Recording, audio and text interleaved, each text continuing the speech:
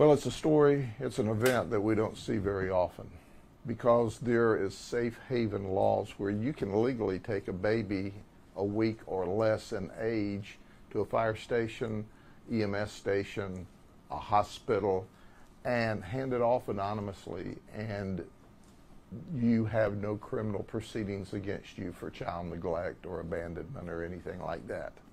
That's not what happened. This all occurred starting really Friday, late Friday night when a lady thought she heard some cats screaming and fighting at about midnight going into Saturday morning, and then it quieted down. And then about an hour and a half later, she heard this screaming and crying again. She went outside and said, Well, that's a baby. So she got her husband, and the two of them searched around, and out in the woods, they found this infant, this beautiful baby girl. You know, I've named her, I have named her Angel Grace Lanou. She's as beautiful as an angel. It's by the grace of God she is not dead, and Lanou is last name unknown. So immediately, obviously, they dialed 911 and EMS and sheriff's deputies arrived, and we found this baby who is six and a half pounds, fully developed, very healthy, now has some insect bites for being in the woods at least an hour and a half, wrapped in some old blankets, and left there with still the umbilical cord and the placenta attached. So obviously, we raced this baby to the hospital, and she is in exceptionally good condition. She's a beautiful child. We believe she's of a Hispanic descent, and we need to know who the parents are. We have worked throughout the community, and no one claims to know who the mother is.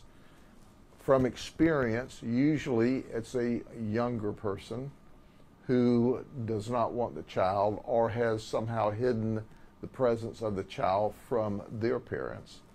And now they've abandoned this child in the woods all alone. Thank God for neighbors who were inquisitive and said, That screaming is not right.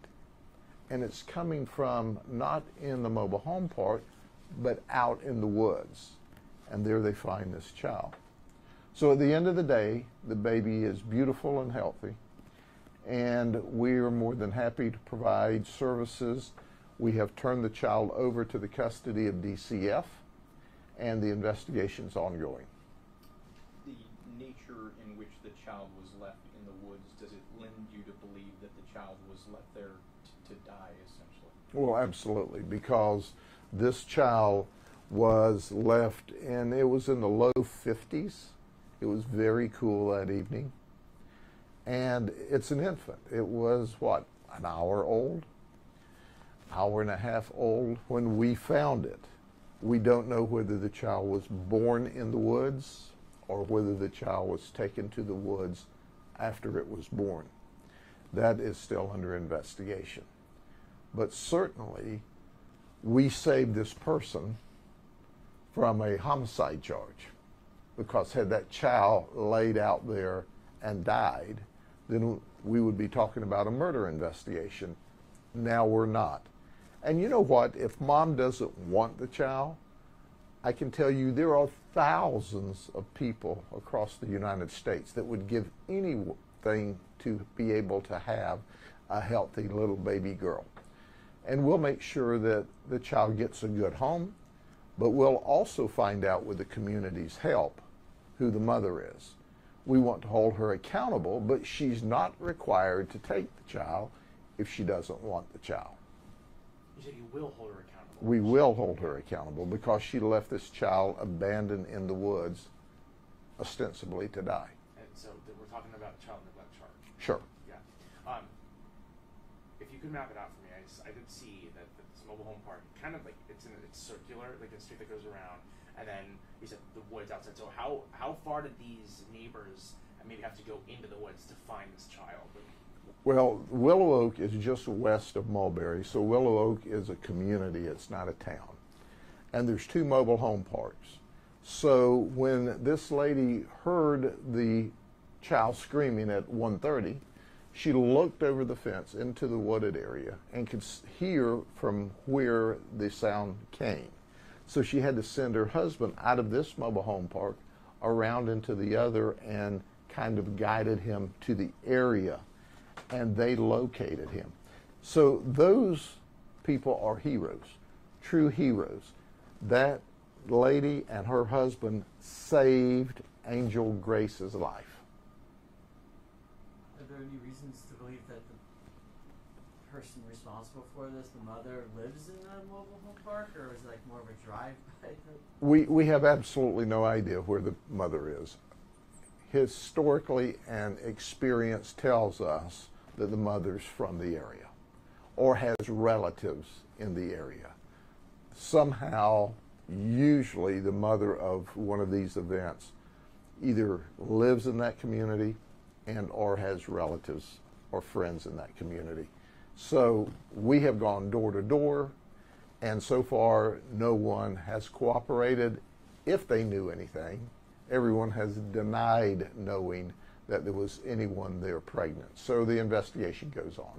So I want to ask you, I don't know how much you can disclose of this, but I mean, a baby that is fresh, an hour or so old, with a placenta attached in, in the umbilical cord, I mean, I, mean, I would assume that there's DNA. Uh, is that something that you would Sure. take and investigate in that? In that Oh, absolutely. We, we've already we've already taken the appropriate DNA samples, and we will be at the FDLE lab in Tampa first thing in the morning with the DNA samples. So we will compare those against the databases and see if that leads us any place. There's still a lot of work to do, and over the weekend we've just gathered evidence, talked to a lot of folks, and we'll be back to talk to more folks because it is the weekend. So we'll go back into the community when people are coming home from the weekend and talk once again. But we hope that some of them watch your broadcast on television and ultimately can tell us who the mother is. And once again, if the mother does not want the child, she can put the child up for adoption. And I can tell you, when you look at this beautiful baby, this beautiful child, there are people standing in line by the thousands across this state and nation that would love to have this beautiful angel grace, Lanu. I know you are not the health department, but can you uh, talk about safe haven? And I think the boxes get a lot of attention, uh, but can, can you talk about how any fire department or EMS station? Sure. The, the law clearly states that it has to be a staff station, such as a fire department with personnel, EMS station with personnel, the hospital. You can literally walk up, hand that baby to a firefighter, and drive off and never disclose who you are, and there's no criminal liability for that. But you've got to know to do it. And I would suggest that most people don't know there is a safe haven law. We have one, and we encourage the use of that. And every now and then we see that someone takes an infant less than a week old to a fire station or an EMS station or to a hospital. But literally, they could have handed this infant over into professionals' hands, had no liability, and we would have been way down the road on this. But thank goodness we see what appears to be some minor insect bites. But at six and a half pounds, this baby's healthy. And she's got a great set of lungs. So as she was screaming out for help, she saved her own life as well. Uh, you know, I've already, we live in a very political climate right now, and I've already heard people say, you know, uh, just kind of maybe giving the mother a pass, if you will. What kind of person does something like this? Oh, you you know anyone that wants to give mother a pass is is just absolutely wrong. There there has to be accountability because had it not been for a great set of lungs on a healthy baby, she would have been dead. Had it not been for this wonderful lady and her husband, this baby would have been dead. So there has to be responsibility and accountability. It's not like we're going to put her in jail, turn the lock, and throw the key away. That's not going to happen. But there has to be responsibility and accountability in our society, especially in light of there was a way for her to deal with this without any criminal charges at all. But right now, we know the baby's healthy. In the hospital, DCF is doing their thing, and we'll make sure the baby has a wonderful home someplace. In your law enforcement career, can you remember another case like this where a baby was left in the woods? No, I can't. I, I have. I can tell you, I remember children abandoned. Usually, they're taken to someone or handed to a neighbor, or someone's call. But I can't tell you that I recall ever a baby being wrapped up and placed in the woods, out in the woods where someone had to go find it, had to search it out. But you know what? When you think about it, the reason that baby's here is because it was born healthy. And it had a great set of lungs.